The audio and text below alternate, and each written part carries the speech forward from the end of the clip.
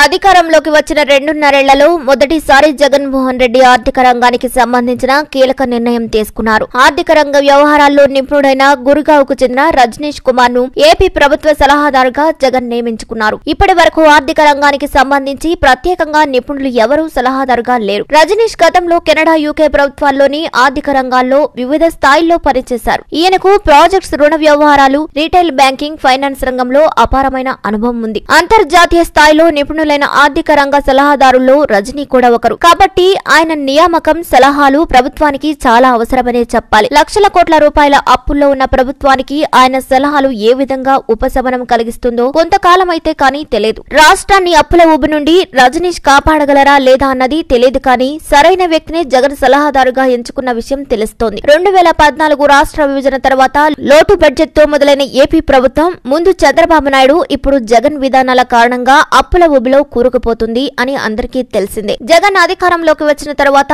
చాలా మందిని సలహాదారులుగా నియమించుకున్నారు. అయితే వీరిలో ఎంతమంది వల్ల ప్రభుత్వానికి ఉపయోగం ఉంటుందో ప్రభుత్వమే చెప్పాలి. చంద్రబాబు హయాంలో కన్సల్టెంట్ల పేరుతో నియామకాలు జరిగితే ఇప్పుడు సలహాదారుల పేరుతో నియామకాలు జరుగుతున్నాయంతే. తమకు అత్యంత సన్నిహితులుగా పార్టీకి సేవలందించిన వారిని ప్రభుత్వంలో ఏదో స్థాయిలో వివిధ రకాల పోస్టుల్లో నియమించుకుంటున్నారు. వీరిలో అత్యధికులు ప్రభుత్వం దగ్గర జీతాలు తీసుకోవడానికి ప్రభుత్వ సౌకర్యాలు పొందడానికి తప్ప మరెందుకు ఉపయోగపడరు. అయినా వారిని జగన్ అలానే కంటిన్యూ చేస్తున్నారు. ఎందుకంటే ఇలాంటి పోస్టులు రాజకీయ అనిర్వారితల్లోకి వస్తాయి కాబట్టి. అంతర్జాతీయంగా ఆర్థిక రంగంలో పేరున్న నిపుణుడు రజనీష్ కుమార్ను ఇప్పుడు సలహాదారునిగా తీసుకోవడం అంటే జగన్ తెలివైన పని చేశారని చెప్పాలి. ఆదాయాలు పెంచుకోవడంలో తగిన చొరవ చూపకుండా కేవలం అప్పుల మీద ఆధారపడిన ప్రభుత్వాన్ని లాక్కురాలేమన్న విషయం అర్థం చేసుకున్నట్లుంది. మరి తాజాగా నియమితుడైన రజనీష్ సలహాలు ఏ విధంగా ఉంటాయో చూడాల్సిందే. ఇక ఇదిలా ఉంటే ఏపీలో రాష్ట్ర ప్రభుత్వ అప్పులపై టీడీపీ వర్సెస్ వైసీపీ ప్రభుత్వంగా సాగిపోతున్న ఆరోపణలు ప్రత్యారోపణల పర్యానికి ఇప్పట్లో బ్రేక్ పడేలా కనిపించడం లేదు. వైసీపీ సర్కార్ను టార్గెట్గా చేసుకుని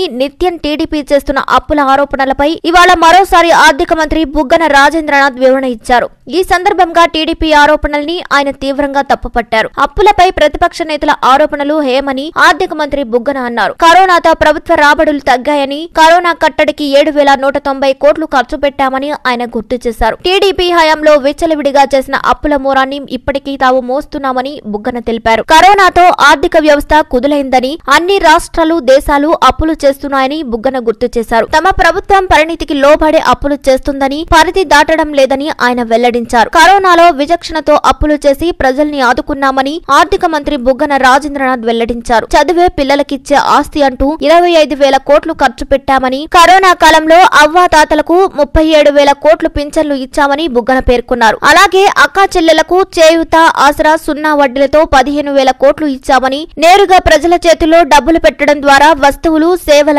డిమాండ్ దెబ్బతినకుండా కాపాడగలిగినట్లు ఆయన వివరించారు. ప్రజల్నే కాదు ఆర్థిక వలయంలో ఉన్న కంపెనీ కంపెనీలు వాటి ఆధారంగా లక్షలాది ఉపాధి మార్గాల్ని నిలబెట్టామని బుగ్గన తెలిపారు. ఓ పథకం ప్రకారం రాష్ట్ర ప్రభుత్వాన్ని అప్రతిష్ట పాలు చేసేందుకు టీడీపీ కుట్రలు చేస్తుందని బుగ్గన ఆరోపించారు. అవాస్తవాలు అసంబద్ధ ప్రచారణలతో ఓ వ్యూహం ప్రకారం టీడీపీ విష ప్రచారం చేస్తుందన్నారు. ఇప్పటికే టీడీపీ అప్పులపై చేస్తున్న ఆరోపణలపై పలుమార్లు స్పందించిన ఆర్థిక మంత్రి బుగ్గన టీడీపీ హయాంలో చేసిన అప్పుల వల్లే రాష్ట్రానికి ఈ పరిస్థితి దాపురించిందని పదే పదే చెప్తున్నారు. ఇవాళ కూడా అదే విషయాన్ని ఆయన గుర్తు చేశారు. అలాగే కరోనా కారణంగా రాబడులు తగ్గినా అప్పులు చేసి మరీ సంక్షేమాన్ని అమలు చేస్తున్నట్లు ఆయన చెప్పుకొచ్చారు. తద్వారా విపక్షాలవి కేవలం రాజకీయ విమర్శలే అని బుగ్గన చెప్పకనే చెప్పారు.